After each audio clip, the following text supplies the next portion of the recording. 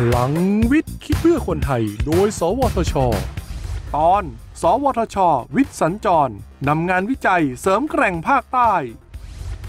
การวิจัยและพัฒนานวัตกรรม เพื่อเสริมความแข็งแกร่งทางสังคม และเศรษฐกิจของประเทศที่ครอบคลุมทุกภาคส่วน ทั้งการเกษตร การศึกษา ผู้ประกอบการ SME และเอกชนทำให้เกิดการนำงานวิจัย ไปใช้ประโยชน์ต่อยอดในเชิงพาณิชย์ และสาธารณประโยชน์ได้ครับ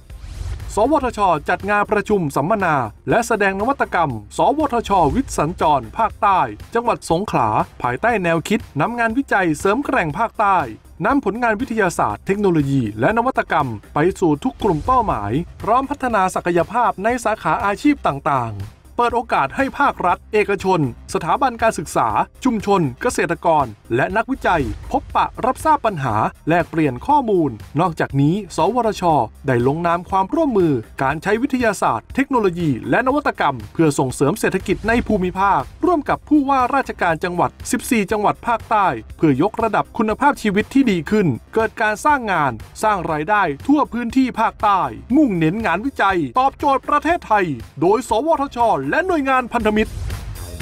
พัฒนาคนด้วยวิทยาศาสตร์ พัฒนาชาติด้วยเทคโนโลยี สอบถามรายละเอียดเพิ่มเติมได้ที่ สวทช 02 564 8000